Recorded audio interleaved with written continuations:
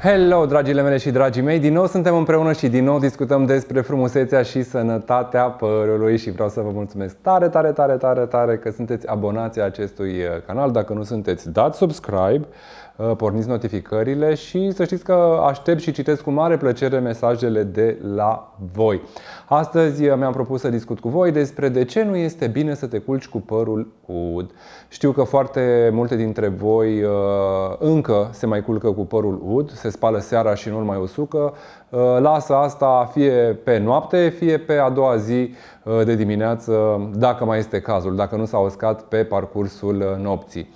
Am făcut un mini video și pe TikTok, pentru că ce să vezi am și TikTok și cred că în acest moment este cel mai popular videoclip al meu de pe, de pe TikTok. Dar haideți să vedem puțin mai pe larg decât pe TikTok despre ce este vorba. În momentul în care spălăm părul și acesta se udă, el este mult mai sensibil. Părul în starea lui uscată, așa cum uh, suntem de cele mai multe ori, este un material destul de rezistent. Odată ce îl udăm și devine foarte permeabil și absoarbe apă, el este extrem de sensibil. Pe parcursul nopții, dacă tu nu îl usuci înainte să te pui la culcat, fricțiunea cu așternuturile uh, și a părului propriu zis uh, este mult mai mare și atunci riscurile să îi faci Uh, uh, tot felul de uh, răni, în ghilimele, crește. Pentru că, repet, fricțiunea este foarte puternică, el este mult mai sensibil și nu se poate apăra.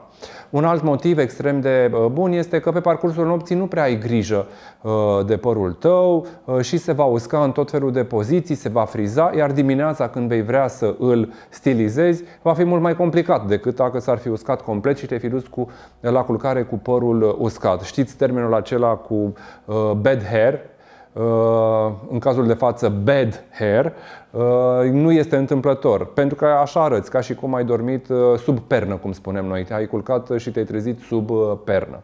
Deci rugămintea mea este încă o dată să îl uscați înainte de a vă pune la culcare. Un alt lucru foarte important este că crește destul de mult uh, Uh, riscul de a uh, face diferite afecțiuni ale pielii. Inclusiv uh, să știți că crește riscul de a face mătreață. Mătreața este produsă de un microorganism care este de foarte multe ori prezent pe suprafața pielii noastre, dar nu devine activ așa oricum decât dacă îi oferim condițiile ideale. Iar un mediu umed care înlătură bariera de protecție a pielii este un mediu ideal pentru dezvoltarea acestei bacterii. Așa că uh, v-aș sugera totuși să nu faceți încă o dată acest lucru și să vă culcați cu părul uscat. Altfel va întreține acest uh, mediu umed și nu este în uh, regulă. Știu că foarte multă lume spune că o să răcești dacă te culci cu părul. Nu cred că o să răcești propriu zis dacă te culci cu părul ud, însă pe parcursul nopții temperatura părului, temperatura corpului nostru scade și categoric s-ar putea să simți Uh, mai multă răceală, adică să simți mult mai rece, uh, în special ceafa sau tâmplele, zonele unde părul rămâne uh, ud și unde nu se usucă așa cum trebuie. Și cumva cred că este și neplăcut să ți se ude perna de la păr și după aceea tu să pui fața peste perna udă. Cel puțin așa cred.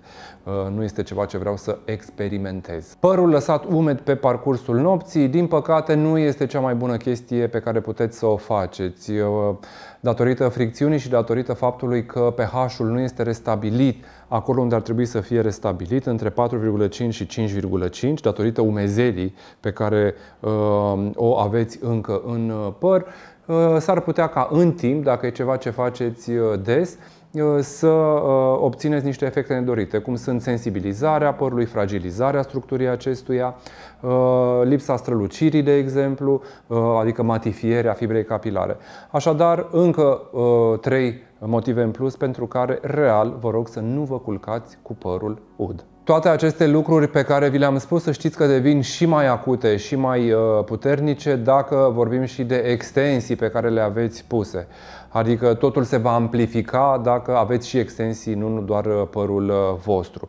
Ce putem să facem? Păi, în primul rând, v-aș sugera să vă spălați mai devreme uh, ca să nu vă prindă ora culcării. Adică spală-te când ai ajuns acasă sau spală-te de dimineață ca să nu existe riscul să te culci cu părul umed. Asta ar fi lucrul cel mai important. Dacă este musai, musai să te speli pe cap și apoi trebuie să te pui la uh, culcare, încearcă totuși să zvinți uh, părul măcar în zonele cele mai sensibile, adică la ceafă. Acolo de obicei acolo nu se usucă părul și încearcă să lași uh, părul uh, desfăcut, să nu-l strângi, că dacă îl strângi, sigur, sigur nu o să se uh, usuce. Dar nu fă din asta un obicei și încearcă, repet, pe cât posibil să te speli fie dimineața, fie să te speli cum ajungi acasă, astfel încât după aceea până te pui în pat, părul tău să se usuce în mod natural. Și realitatea este că dacă vei folosi un feon uh, cu protecție termică sau pe căldură și viteză medii, nu o să ai probleme cu părul. Dragile mele și dragii mei, vă rog nu vă culcați cu părul uh, umed uh, și până data viitoare aveți grijă de părul vostru. Pa, pa!